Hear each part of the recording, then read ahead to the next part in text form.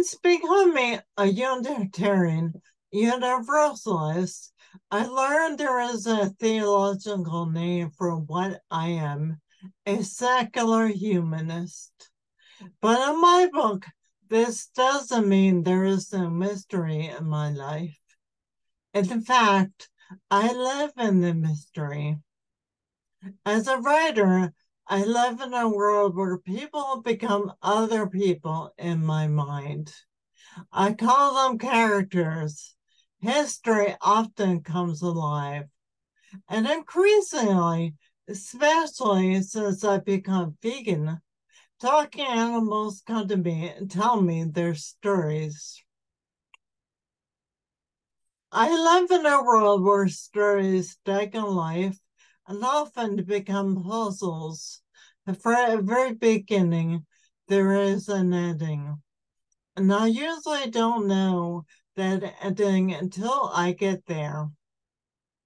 I did this with my novel They, a biblical, biblical tale of secret genders when I was a group here called the New UU some years back when I first joined.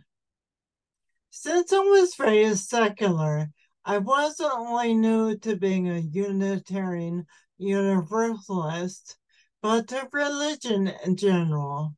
I decided to read the Bible, which wasn't required, but I wanted to be thorough.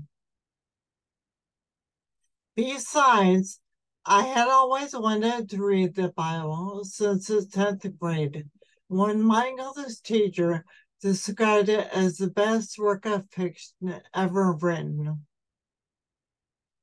When I began reading the Bible, I started wondering what if.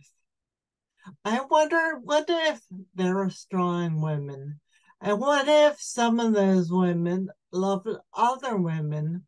What about gay men? What if they are transgendered people? How did they survive? What if some people did not fit the binary? What if some people were gender fluid? How did they manage to survive in the harsh desert culture? So, in some ways, I am a believer. I'm a believer in stories, and I'm a believer in reinventing the stories. Like many writers, I'm a believer in myth and inhabiting that myth and rewriting it until it suits me. Often that is my entry point to myth. I read the reinterpretation and then I read the myth it is based on. I'm a believer in change and knowing why the change is necessary. And I believe in the inquisitive mind, including my own. Maybe it took a long time for me to believe in myself. Sometimes it feels that way, and sometimes it doesn't. But I did have to invent myself in a culture where I am different in many ways and I am proud of that difference. I am a deeply intuitive person, so I don't always know how things happen, but I know that they do happen. And I know that being part of this congregation has deepened my belief, particularly my belief in myself.